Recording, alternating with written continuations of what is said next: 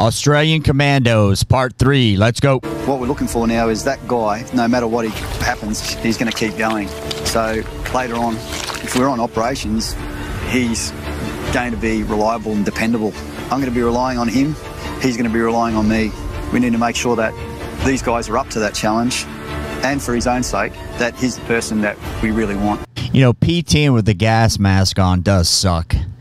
Looking at this, the wet part, who cares? They're high crawling fine. The rifle, no big deal. But the gas mask adds a level of extra suck into the training. So it doesn't matter how tired you are and how much physical training that you've done. It doesn't matter how much you prepare yourself. All you really have to do is just keep going. Don't stop. The stakes are made higher by restricting their vision and breathing with gas masks. As the candidates oh, God. push through the merciless got that. nightmare of demarcation, the hours begin to feel more like weeks. Every minute that passes demands more than the one before it, but each of them is determined. You know what the gas mask does? It just makes everything harder. Fogs up. It's got a you know leak in the side. You can't breathe that well. It's just a pain in the ass, right? So adding that just adds a layer of complexity to things because you're already tired and spent. I think it's a great idea. I hope the U.S. Marine Corps does more of it. We did a lot back in my day because of Desert Storm, I think, was on the horizon. They knew about because we were doing a lot of MOPP gear training and gas mask PT. I think it's a great idea. If you guys ever done that, put that in the comments. And not to let this last phase of selection break them. the, the variables are, are so many, you know, that they may be physically up to the challenge, but may not be able to pick up and retain uh, the knowledge required at, in the, at, at the uh, required amount of time. So there's, uh, there's there's a lot more to it than just being fit. Uh, you've got to be fit and smart and fit and be able to learn when you're under fatigue. I'm not sure you have to be smart, but you can't be a total dumbass. And you got to be able to learn under stress, right? And what you're learning is not complex stuff here, but if you can't do simple, follow simple orders, it's not going to work out too well for you. They don't want to give you a firearm and explosives in somebody else's life, right? The most important part of the training process is getting through that selection. If you uh, show us the attributes, you show us that you're uh, ready to continue on, then we will give you that shot and we'll train you, build you, and develop you into a fully effective commando. to select the top tier candidate from a an injury point of view where we know that they are not going to be injured when they get uh, given a task that's that physically demanding or from a, um, a a decision making point of view they are able to make decisions under under that sort of physical demand as well and the right decision. You know, a big deal here is where a guy has a shoulder problem. He gets it fixed. He's in the regular Australian Army. It's like shoulder's good to go. Doc clears him. If you got a nagging injury, these kind of things it's going to bring it out, right? So your muscles totally fatigued, and everything- all the stress on the joints, the tendons, and ligaments. That's where guys fall out. They go there and they're fine until they do this. And they may be fine in the regular commando units, but the training they're not going to make it through, whether it's a knee. But shoulders are typically one that creep up. You know, they had something, they got medically cleared, but just not going to work long term when they're going days on end. You're never getting your muscles a break. Selections, it's not about breaking people. It's not about humiliating them. The selection process is about finding a person with suitable attributes to become a commando.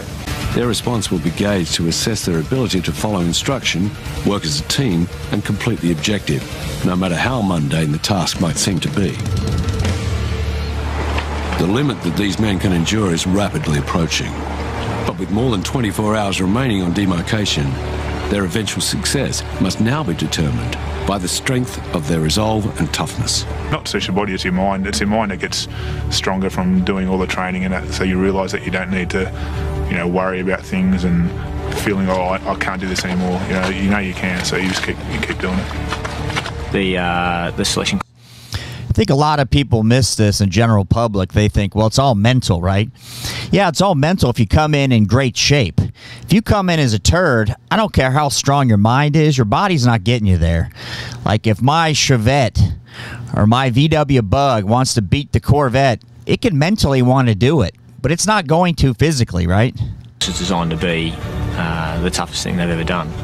We are selecting for the top tier individual, the cream of the crop. Um, it's tough. It lasts for longer than, than a normal physical training session uh, that they'd be expected to do on, in, in regular army, and it's um, it's a lot tougher as well. And only minimal rations to sustain them. The bodies of the candidates are screaming for respite, and their mind is begging for the pain to stop. Now I've seen some guys limping like that, and they just keep running, keep humping.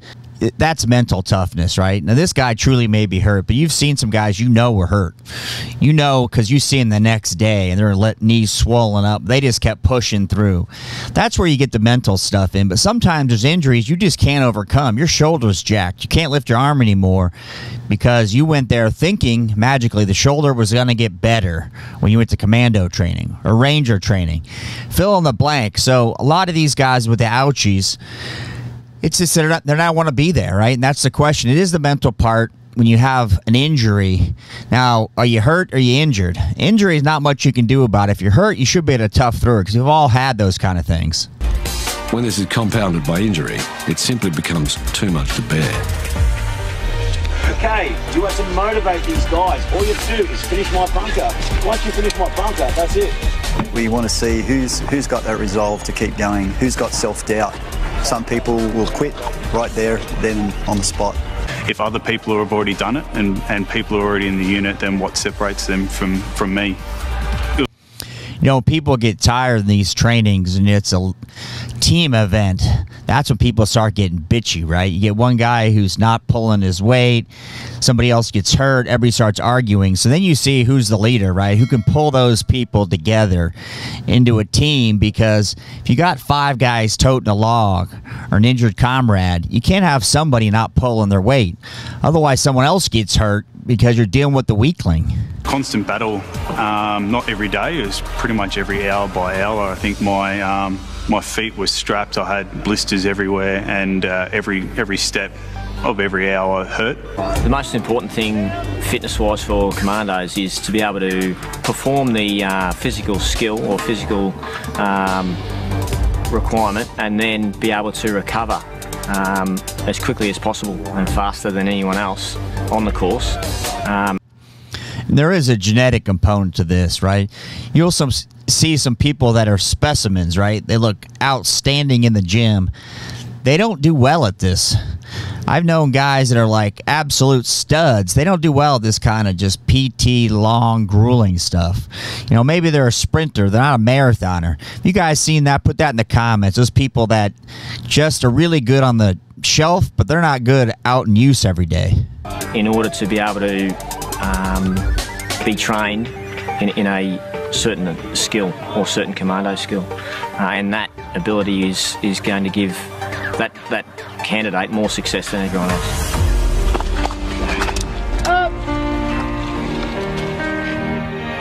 You must love get ups, don't you, one two? The guys that are here are here because they want to be, and they're all now probably questioning what their mate. None of this stuff looks like much if you just take a clip of it. But when you're already worn out, right? So you're already tired, like getting up and down like they're doing feet, seat, feet, seat. After a while, the up and down, it just wears you out, especially when you're wet. Now your boots are rubbing, your socks are sticking, the blister you got starting to get itchy. That's where this comes into play because they've you got to remember all the stuff that led up to this. So they can't totally stress them anymore because they don't have much in the tank. It's not just a matter of doing repetitive stuff.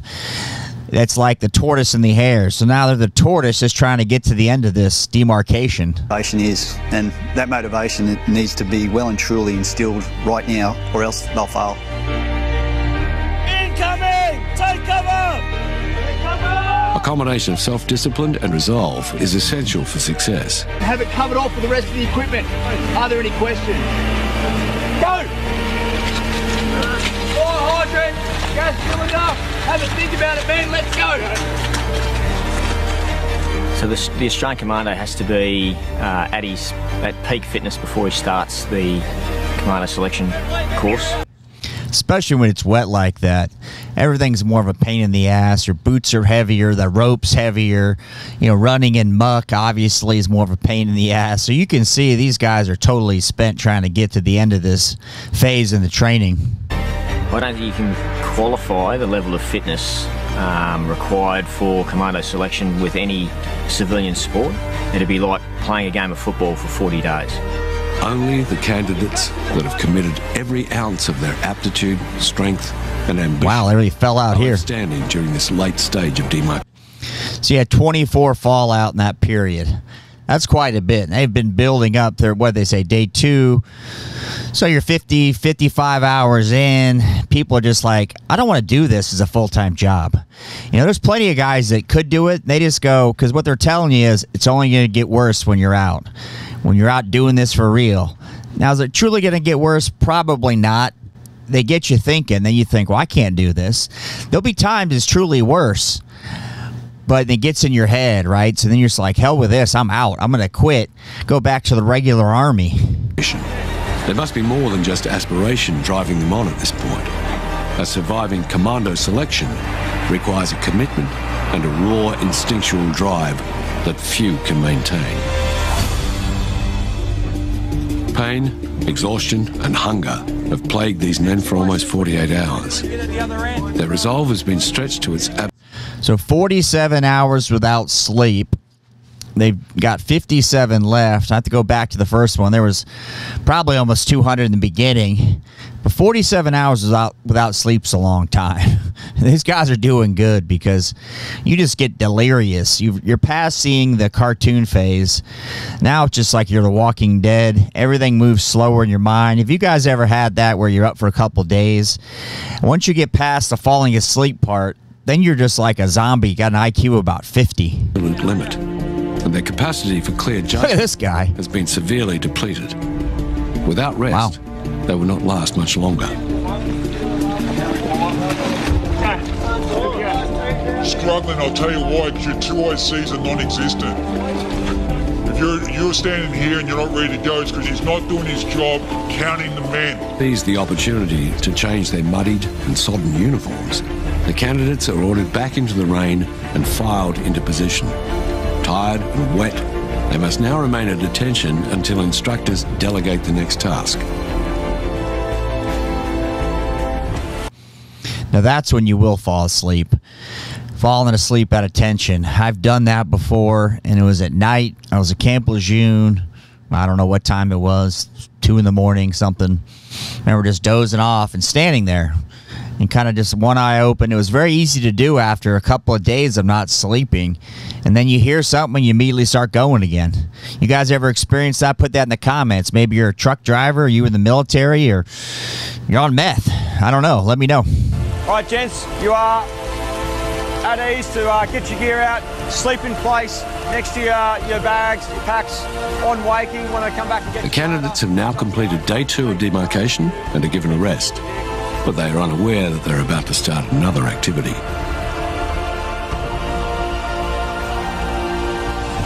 After just 40 minutes, they're rudely woken.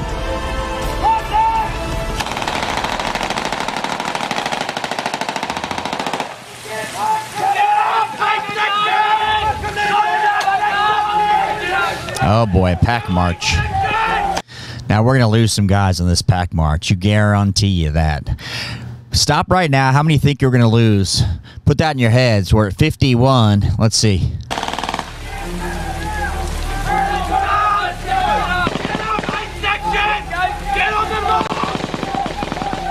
Rainy and cold.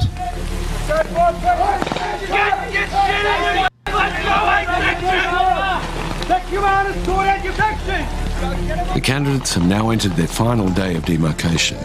Over the last 60 hours, they've had less than 60 minutes of sleep. But there are still more challenges ahead. A scenario not unlike those faced by the Australian commandos on operations. And now they're, oh, they're sorting the white rice from the brown rice. They're absolutely buggered. And they're doing a task that they think is, is pointless. The thing is, is that's what we want them to do and they need to do it to the best of their ability. They just got. Now that's interesting picking out pieces of rice one from the other, and you got to be to do it. Your eyes are blurry, right? They're fuzzy, kind of itchy because you haven't closed them for any length of time. You got to pick out these little fine pieces of rice out. That's a good idea. I've never seen this is kind of like a mental challenge because not only do you have to be mentally sharp enough to figure what's white and what's not, then you got to grab it and small and have the patience to move it over and then have to make you count it. But that'd be even more difficult. Let's see. They've been told not to get the rice wet, and that's oh, not get it wet either. Damn difficult. It's not all you know, action and, you know, bullets.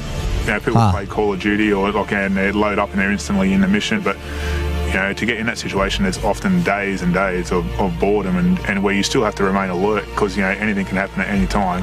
It can go from being boring to you're in contact, in like, you know, within a second. Hmm. Why do they make it so hard, right? People say that. Well, you're trying to prepare for worst case scenario. God forbid they made it super easy. Then they said, "Oh, you're commandos. Go do this mission. You're not prepared, right?" If I had a child that was doing this, I'd want them to be prepared to the max amount. So they did go overseas. They've got every tool available. That's important for the person. Take aside the military. You want to be totally prepared before you're covering a convoy going on one in Afghanistan. The medics are going to come around now and assess your feet. Just let the medics do their job. Man, what we're going to go with now is a basic fitness assessment. We're going to do this to assess your fitness under fatigue. First component of the basic fitness assessment is the push-ups. Front rank. Wow, so they're already spent 60 hours. Now let's do a PT test. I don't know the standard's going to be here, but my lord. On your guts. Surviving the selection course is all about preparation, and it's not just about how many push ups you can do. It's about being physical in all aspects, being comfortable working within yourself, knowing mm. what your limits are, and then being prepared to explore and push those limits. After days of rigorous physical and psychological testing combined with sleep deprivation, the demarcation process has reached its conclusion. Over the last 72 hours, many candidates have withdrawn from the course. For the few dozen survivors, you know, I thought I went back to the beginning of the video. I'm like, they're doing a PT test.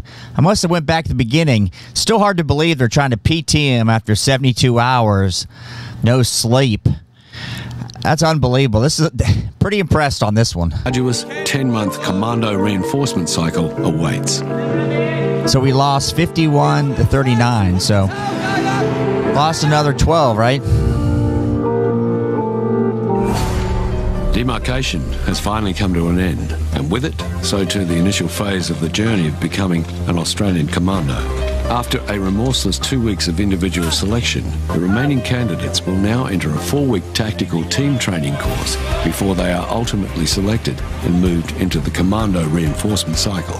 It is no small achievement. The reinforcement unit will only accept those demonstrating the required commitment and attributes those who have prepared themselves and sacrificed mind and body by demonstrating toughness, exceptional judgment, and unbreakable resolve. You've worked hard for it. You know, it's not just something you stroll into, it's something you yeah, they're going to need about a week off to recover of light duty or something after this. Their feet, swelling on their joints. They won't be able to sleep normal for a day or two. They'll still wake up a lot. So they'll need some time to recover. I'm not sure how they handle it. If you guys know, put that in the comments. Be dedicated to want to do, and you know, you, you work hard to get where you are, and, and, it doesn't stop with selection. It doesn't get any easier. You're still always trying to do the best you can all the time, and doing that all the time, it gets addictive. You know, it's, it's that's probably the best part of it. Yeah. Stay tuned for part four and five. New to the channel, thanks for stopping by. For my current subscribers, I appreciate you. Thanks for watching.